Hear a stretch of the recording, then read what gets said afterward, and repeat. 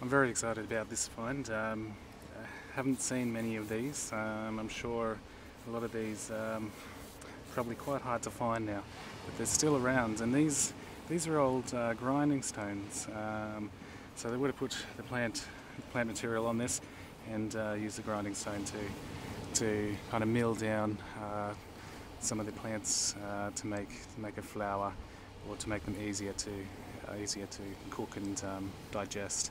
So um, I might turn him over just to see what the other side is like. well, that's kind of nice.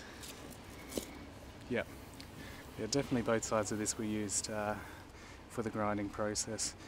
Um, one thing that did occur to me when I first saw this that it could be used as a cooking stone, but when you see these cooking stones, you usually tend to see um, black, um, black from the heat of the fire, and you don't see this with this.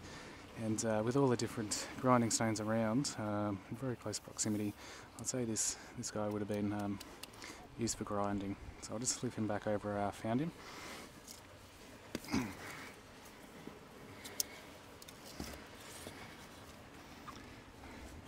yeah, that's fantastic. That's a really nice example.